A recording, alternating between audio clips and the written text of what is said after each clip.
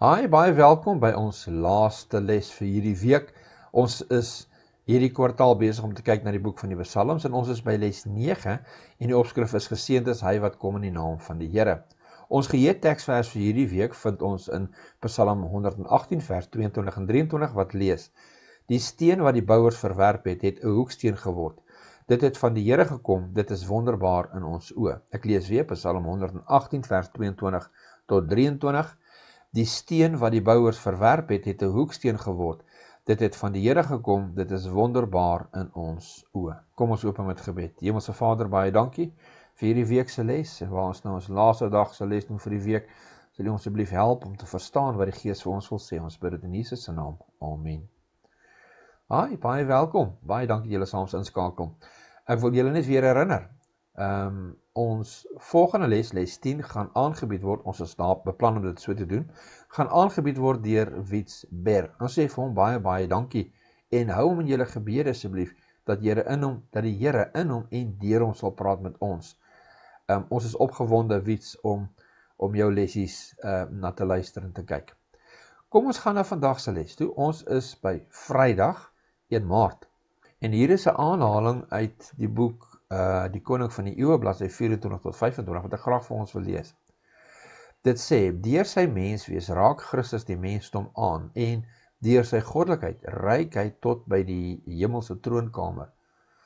Omdat hy die seun van die mens geword het, het ons nou sy voorbeeld van gehoorsaamheid. En omdat hy die seun van God is, het ons die krag om gehoor om te gehoorsaam. Dit was Christus wat uit die brandende bos op Horeb met Moses gepraat en gesê het: Ek is wat ek is. So moet jy die kinders van Israel antwoord: Ek is het my na julle gestuur. Dis nou in Eksodus 3 vers 14. Dit was die versekering van Israel se beloofde verlossing. Met sy eerste koms in die vorm van 'n mens, verklaar hy inderdaad self: Ek is, ja, die kind van Bethlehem, die beskeie verlosser is God geopenbaar in die vlees 1 Timoteus 3 vers 16. Aan ons sê hy ek is die goeie herder. Ek is die lewende brood en ek is die weg, die waarheid en die lewe. Jesus het ook gesê aan my is gegee alle mag in die hemel en op aarde.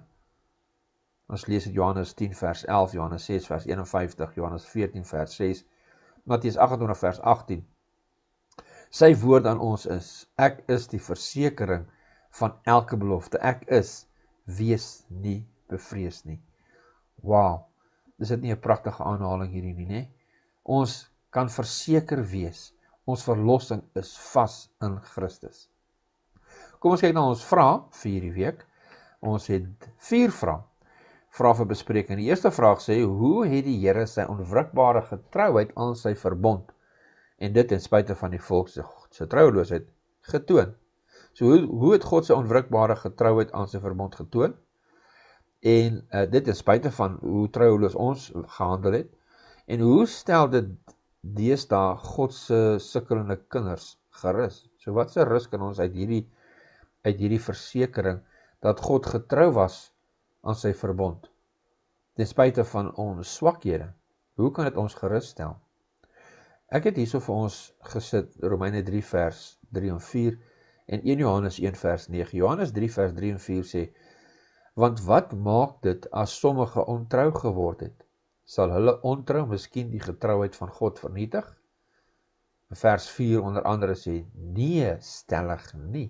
Met ander woorde, omdat ons ontrou is, gaan dit maak dat God ontrou is? Nee. God se verbond sal altyd vas wees. Sy woord kan nie terugdraai nie. En kyk jy hierdie pragtige herinnering vir ons in 1 Johannes 1 vers 9. Dit lees: As ons ons sondes bely, hy is getrou en regverdig om ons die sondes te vergewe en ons van alle ongeregtigheid te reinig. Dis ons versekering. Dit is waarin ons rus kan vind. Tweede vraag. Let op Christus se unieke beter priesterskap volgens die orde van Melchisedek. Nou hier is in die lesie gebruik hulle uh Anglisis volgens my uh Christus se unieke en uh superieure priesterskap. Met ander woorde 'n beter uh superior as die Engels woord wat daar gebruik word priesterskap, 'n beter priesterskap wat volgens die orde van Melchisedek is, né? So ons moet nou let op dit. Dan word die vraag gevra. Hoe versterk dit die verlossingssekerheid wat kinders van die Here het? Wel in die eerste plek weet ons dat Jesus se priesterskap of Jesus se koningskap en priesterskap in die volgens die orde van Melchisedek is 'n ewige priesterskap. Hebreërs 4 vers 14 en 15 en 16 sê: Terwyl ons dan 'n groot hoëpriester het wat deur die hemele deurgegaan het, naamlik Jesus, die seun van God, laat ons die belydenis vashou.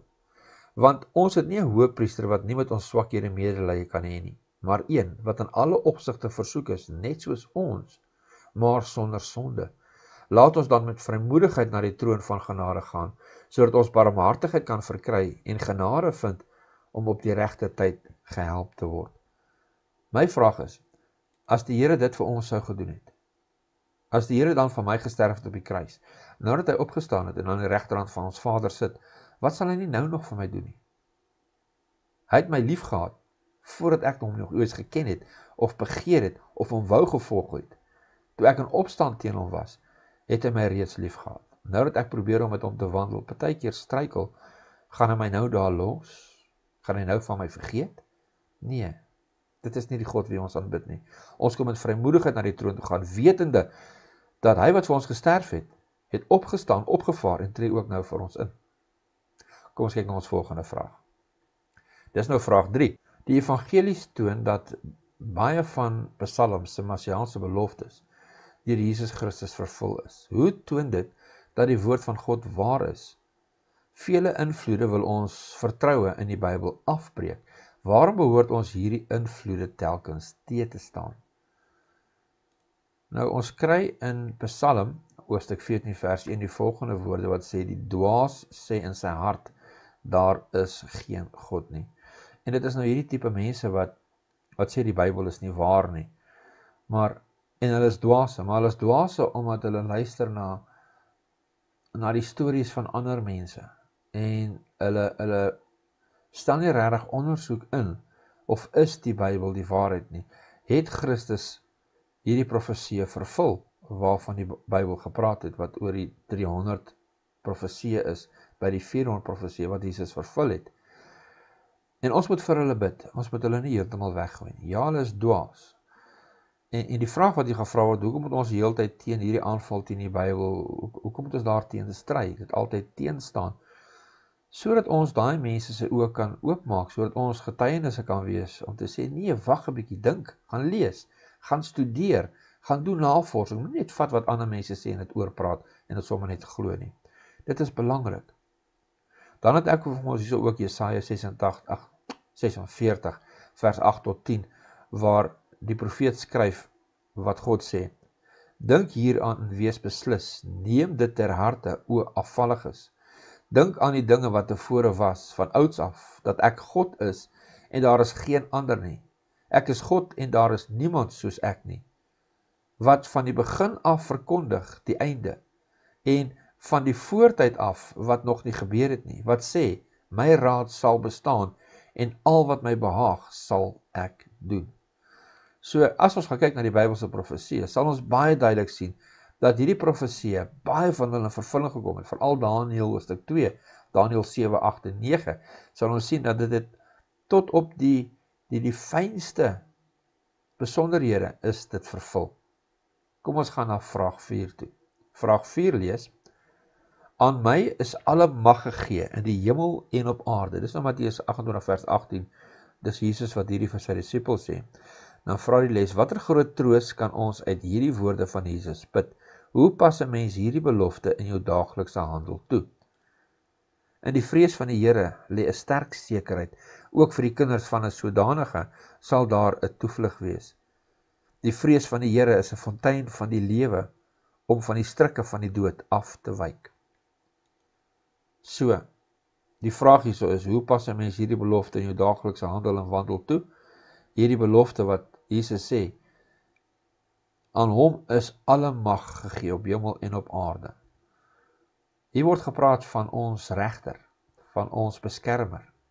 Dit word gepraat van ons Here wat vir ons lief is, wat ons name in sy handpalms geskryf het.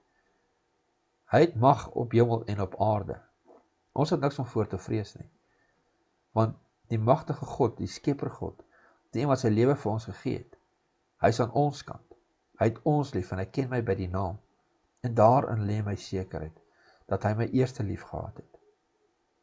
Kom ons bid. Hemelse Vader, baie baie dankie vir hierdie week se les waar ons weer eens kon sien dat ons verlossing is vas. Want Here, nie omdat ons getrou is nie, maar U is getrou. Hy wat kom in die naam van die Here. Hy wat gekom het om U aan ons te openbaar, U liefde geopenbaar in die kruis. Hemelse Vader wat dan ook ons verlossing verseël het deur die opstanding uit die dood en ook nou vir ons intree Here, ons kan U net loof en prys vir U groot liefde en genade. Vir hierdie groot werk van verlossing wat U vir ons bewerkstellig het, dat U die hemel leeg gemaak het vir ons. Dankie Hemelse Vader, help ons asseblief. Vergewe ons asseblief. Stel ons in staat, Here, om weer op te staan as ons geval het. Stel ons in staat, Vader, asseblief wanneer ons staan om vas te staan. Want Here, nie op ons beloftes of ons dade nie, maar op u verbond. U verbond in Christus en dit wat Jesus vir ons gedoen het. Dankie Vader vir u verlossing wat ons so onverdienlik ontvang uit u hand uit. Ons loof en ons prys u in Jesus se naam. Amen. Baie dankie dat julle saam gaan skakel vir hierdie week se les. Tot volgende keer. God se ryke seën.